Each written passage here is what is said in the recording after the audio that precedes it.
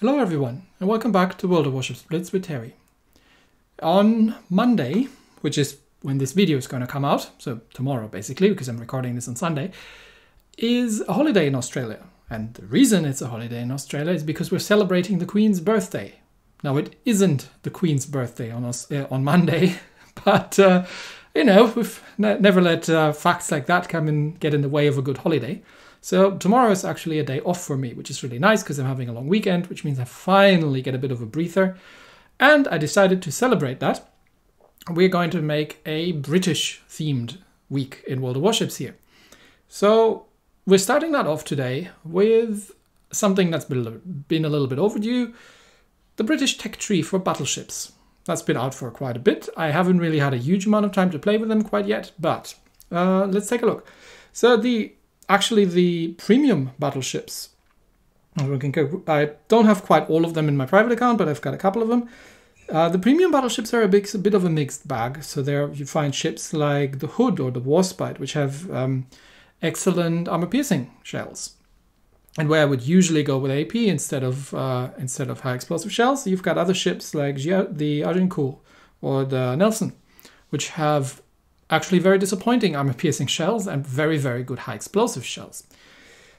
The tech tree, so far as I've seen it, um, seems to be more on the high explosive side. So, what makes the British tech tree ships special? What makes them different from the other nations?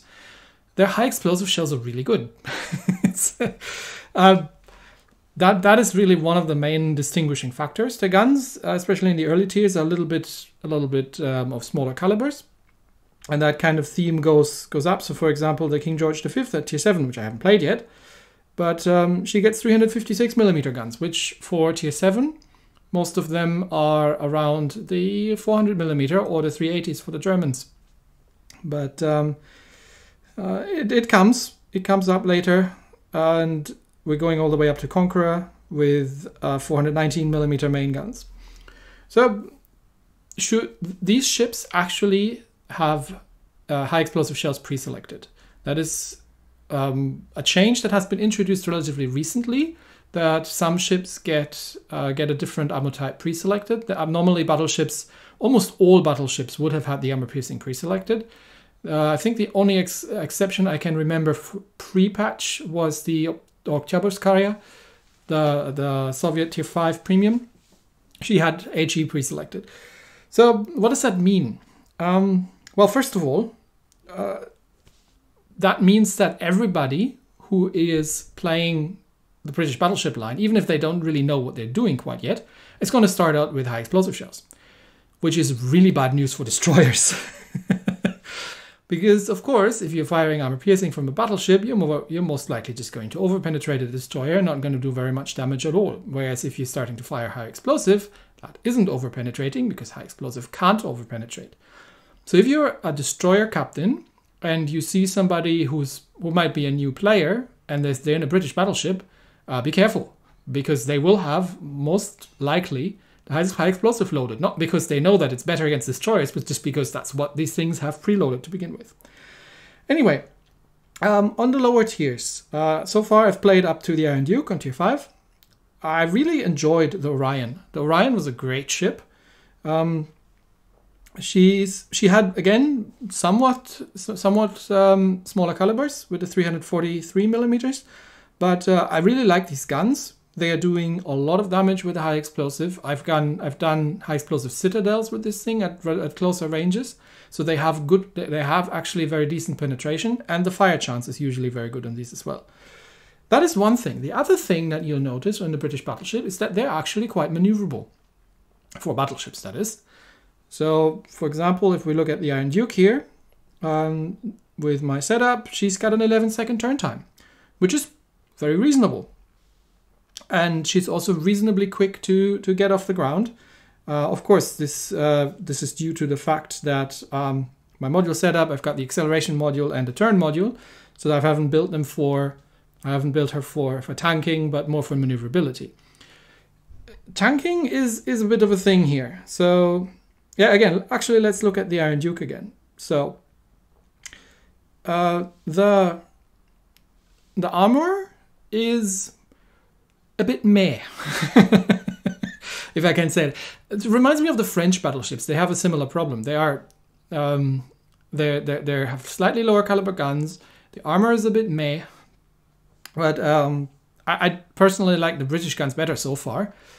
But uh, that might change in, in higher tiers. I mean, the, the Republic at tier 8, the premium, has amazing main guns. But yeah, the, the armor isn't the greatest. So if you are um, if you're being shot at by large caliber shells or taking torpedo hits, you're gonna lose health pretty quickly. How about how about the secondaries? Well, so far these things have 150 millimeter secondaries, which is something I like. So we can have a quick look on on the tech tree and see how that how that plays up in higher tiers. So if we look at the King George the fifth up here, 130 millimeter secondaries, still looks decent. And all let's, let's just check the Conqueror. And she also gets 130 millimeters. So it looks like these uh, these secondaries are going to, uh, are going to reduce. Um, not necessarily secondary spec ships, because also we don't get the auto secondaries. The AA is kind of average so far from what I've seen. Um, so what does this mean for, for these ships, how they play? Um, the high explosive is not a bad choice, especially as long range, uh, especially with the, with the bigger, with the, the higher tiers. They have an insane fire chance. So again, if we look at, uh, HMS Conqueror here, she gets uh, 12 420 millimeter main cannons with an 18% fire chance and and very respectable damage number. This isn't upgraded, right? This is this is stock. So, woo. uh, long range, very good fire chance, and uh, they do get the rapid reload skills. So, yeah, um, not the greatest tanks out there, even at, at these at these upper tiers. Not uh, not super well armored, but um, very effective high explosive shells, which makes them extremely dangerous. That and the maneuverability makes them extremely dangerous towards destroyers. So again, if you're a destroyer captain, be careful if you're rushing an, uh, a British battleship, because most likely they're going to have the high explosive preloaded anyway, because that's most in most scenarios the best ammunition so- choice that they have to to take. And um, yeah, your life is going to be very short if you're doing these things, if they have any idea what they're doing. So yes, uh, questionable armor, um, decent maneuverability, uh, great main guns. So that kind of sums them up for me, really. Um, yeah. anyway, um, let's have a game. And uh, since the Iron Duke is the only one that I've gotten up so far, I'm going to go with it. Maybe one last word on uh, the captain training. Not all the premium uh, British battleships are suitable as captain trainers because for example, the hood. Um, if we look at the, the skills, she gets precise aiming and air defense alert. So you'd set her up completely differently from what you would do on a tech tree ship. Um, the hood's armor piercing is great.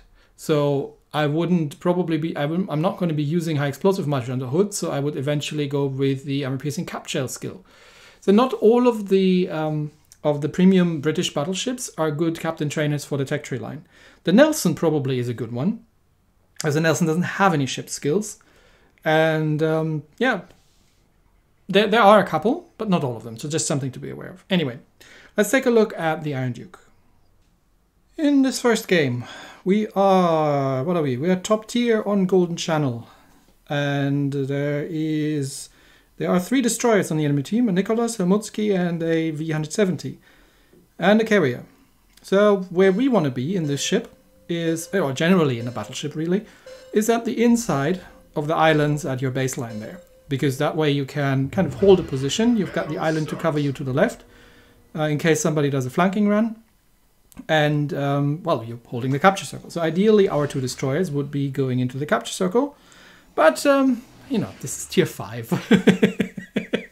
you know what's coming, right? you all know what's coming. Uh, cue the Dirk music. Uh, let's see. So, uh, it looks like Nicholas decides he wants to go left. Um, well, for once, our carrier is actually starting to send planes out. So that, that's a first. He has learned how to send planes out. The other Nicholas is firing his guns so, such that he can get spotted easier. Uh, I don't have the range to shoot at anything yet, but the two Nicolases? Nikolai? I don't know. How do you pluralize these things? Uh, well, they're, they're going left white. So the other two battleships seem to be quite happy where they are. The carrier is staying stationary. So the only one actually heading into the cap currently is the Ubery over there. And um, while he's a very, very good ship, he's not very good at, um, at tanking. Yep, I know. I'm, I'm coming. Give me a second. This thing is not, is not the fastest out there. Okay, there comes the V170. So let's get these, put these guns to the test. And I think, yeah, he, he's actually uh, not not quite as quick as I thought. The guns have an extremely direct firing angle. They are very on point, but not very high. So it's often quite difficult to actually fire over obstacles. So, let's just get him a little bit, come come a little bit closer. I'm already putting my uh, putting my ship in reverse just because I'm expecting there to be torpedoes. And this is what I mean with direct firing angles. And now he regrets. Uh, he regret Ubery can kill this one. He regrets his decision. Uh, there come the torpedoes. Uh, yeah, I know. That's why I'm reversing. Oh look, who's turned up? The enemy carrier's turned up. He's trying to cap. Uh, he hasn't realized that he has planes. Um, but, you know, maybe this is the first time for him to play a carrier and he doesn't actually know that he has planes. And he's trying to fire the gun. Well, because he has one of them. Well, okay, you do you, buddy. But you see these, um, again, I'm, I'm, just firing high explosive here. Uh, these HE cell, shells are doing um, are doing a very reliable amount of damage. And, you know, a Bogue is not a very sturdy target, so that that one goes. Where's the rest of the team? Okay, one of the destroyers has decided to join in, in the cap circle. The rest is sailing around somewhere around the map and exploring the outsides of these islands to see if they can find, I don't know, maybe they're looking for oil or something. Okay, Mutsuki, he's been playing before. He knows what he's trying to do. He's sitting behind that island there. And he's trying to... Is he coming out? Okay, I, I don't want to wait for you. I'm just going to fire at the Kongo. And this is about as far as I want to go, because I am not a very campy but, uh, uh, tanky battleship. And there's a König and a Kongo out there. So I'm just um, turning in a little bit, trying to dodge some shells here, because I cannot take too much of a beating in this thing. It's not like a like a, like a New York or something. Oh, there he comes. Yep, I knew you were doing that. Okay, let's turn ship around, get the guns back to fire. But yeah, I can't lob, so I think I just get one hit there. Yeah, and out. That, that's my punishment for being stationary. I have to reverse in case that because the Mutsuki was coming out there to, to shoot torpedoes. I don't know if he got them away. So I'm gonna have to reverse out a little bit. Okay, now the König is behind an island and it looks like the Mutsuki is going away as well. Uh, and I'm just sitting here in the cap circle, being king of the hill and everything, and trying to keep the islands between myself and the enemy uh, team as much as I can. Okay, Kongo is on fire. Is he damage conning? Doesn't look like. Well, let's see if we can get him some more fire. Okay, enemy Kongo takes out our Nicholas. Yep, that happens. Uh, okay, fires out. Uh, nope, no additional fires. Maybe he damage con. Maybe his damage con just came off cooldown. Then again, I've got two battleships and I'm giving way too much broadside here, so I'm gonna have to move a little bit. Uh, turn in, turn in. Nope, these Kongo shots are on point. Ow. Okay, there comes the Mutsuki. Uh, six kilometer broadside. Uh, I would say bye. you don't do that in front of a British battleship, especially not if I've got my guns reloaded. Alright, uh, Kongo is behind the island, so he can't shoot at me, but König can. And I really, really don't want to be at the receiving end of these German guns. Not with as um, questionable armor as I have. Ow, ow, yeah, that hurts. Uh, it's probably a citadel into the broadside. It couldn't quite get the turn, but um, to ease out a little bit. And then I'm just going to try and turn away. Yep, he overshoots. And um, yeah, just uh, just try to turn away. I mean, as long as he stays out of the cap circle, we've won this, right? There's not much left uh, from the enemy team. Ow, that's probably that was those were probably Kongo shells. So yeah, I've got to kind of get the get some hard cover behind myself and these people because their fire is um, unpleasantly accurate. but uh, okay, the König is under is under air attack, and uh, there's the Ubery as well over there, and he's got extremely dangerous torpedoes. Yeah, the Bogue takes him out, which leaves only the Kongo, so I can actually get some shots off at that guy. I can't remember if his if his damage con is already off cooldown. Uh, I'm setting him on fire again. This is what you do with it. No, it was off cooldown. Okay, this is what you do with um, with British battleships. Uh, you set fires. You absolutely destroy destroyers who are who are stupid enough to think like, oh yeah, battleship, hey, you're not gonna hurt me very much. I've done this before. Battleship shells don't hurt. Ah, uh, they do. When they're British, they do. but yeah, we've got this in the bag. Um, Ruffle stomped the enemy team pretty much here. There's just the Kongo left. Uh, it's my last salvo. I'm gonna get off at him. But uh, they're they're they are respectably precise. Um, cannot complain and um, uh, the, the HE is doing a very good amount of damage. So, yeah. uh, that's one thing you can do. Uh, let's play another one. In this second battle, we I'm uh, bottom tier, and I'm actually um, division up. Now, I hope I'm pronouncing you correctly. Uh, Zusini, Zusini. So anyway, I'm um, uh, division up with Zusini here, uh, in Herr König, and we are, well, bottom tier, carrier battle, and there's a Bayern on the enemy team. Okay, dangerous things. But only one destroyer, there's a Minekaze, so well, let's see. And we're playing on Silent Shoal. So we'll have to spread it around a bit, I guess. At least there are not too many destroyers out here, because these islands are really, really good for destroyers. Okay, I'm spawning left. Uh, she's spawning right. So let's see. What am I going to do? I'm probably going to just kind of get into a defensive position slightly towards center here. Again, this is mid-tier, right? So you um, don't be too critical in the comments about the poor people who are who haven't found out yet that carriers have planes. but um, that uh, that independence over there has uh, has figured it out, and there comes some planes. Our independence is not yet quite there, but there come some independence planes in, and. Um, they head towards me? They might be heading towards me. I'm just, I was taking it slow. It looks like we're doing a defensive setup here. I mean, we haven't communicated this with the team, but um, you know, just uh, just looking at how we're how we're dispositioned. Okay, something spotted me. I don't think. Yeah, I might have been air spotted from the dive bombers over there. So, but look at look look at the destroyers are going into cover over there. Um, the battleships are hanging back, and that Dallas is in no rush to get out there either. So um, we're having a relatively defensive setup. Dallas is, Dallas is dodging some shots. Okay, destroyer spotted. There's Minekaze. Let's keep in mind that he's over there, which means the destroyer is not over here, which means I can actually start taking some pot shots at somebody. And there's a broadsiding Omaha. Let's see what we can do about that one. Of course, this means that I'm also broadsiding, but at this range, nothing's probably going to be super precise. That, that was four good hits and a fire. And that Minekaze is coming unpleasantly close, and it looks like we've only have one ship on this side. Oh, he's pulled a knot, sir. yep, you can't sail through islands. Give him a couple of shots. Um, not sure what that is. Probably Budyonny. Okay, that's where a couple of good hits on the Minekaze. But um, so far we've seen one, two, three, four enemy ships on the right, plus the carrier makes five. This means there's only two ships on the left flank. And there's our carrier and the Dallas over here. So uh, I'm going to head over very gently while that Budyonny keeps shooting at me uh, towards the other side and just so I don't, nice out of range, uh, uh, just so I don't, um, I don't get myself too far out of position for where the enemy ships are coming, actually getting in. A couple of shots here coming in from the Bayern, but uh, not doing very much. Probably bouncing up my turrets by the looks of it. Okay, uh, we've lost our Mutsuki.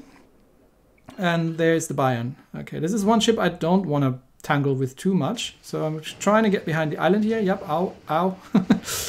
These were good hits. Um, this is where the lack of armor of the, the British battleship starts playing out. But he's damage con can I get another fire? And again here the, the um, look at this. The, the shells all, almost all of them get into the island, but one gets through and sets a permafire. yeah, you just gotta be lucky sometimes. Uh, that's the problem with the uh, British shells. Their their arcs are extremely flat, which is very good if you're dealing with destroyers or other things, but it's not so good if you have to shoot over islands. Uh, can we get another fire here? Maybe? On that Bayern, German battleship, relatively flammable. Rapid reload. Okay, he puts the fire out. I'm setting another one. or it might have burned out in the time. Uh, maybe he just lets it burn. We'll never know. Okay. Uh, Budyonny is heading... Oh, oh, there's the Mutsuki. Yeah, yeah, I've seen you, I've seen you. Okay, dodge some torps. Uh, this is where the very, very good... Um, the very good maneuverability of these things come, come in. Because, um, while I'm still taking pot shots from the Budyonny over there. It's going to ignore him for now. I'll have to deal with this destroyer because nobody else seems to be doing it. You're broadsiding in front of the British battleship, and um, this means... Oh, there's some air torpedoes. Okay, that's what I've saved my damage con for, for that flood. Okay, and you are very, very dead. Okay, goodbye. One destroyer down. Now, um, it looks like most of the team is on the right side, plus that who's keep, who keeps trying to do things to me from that distance.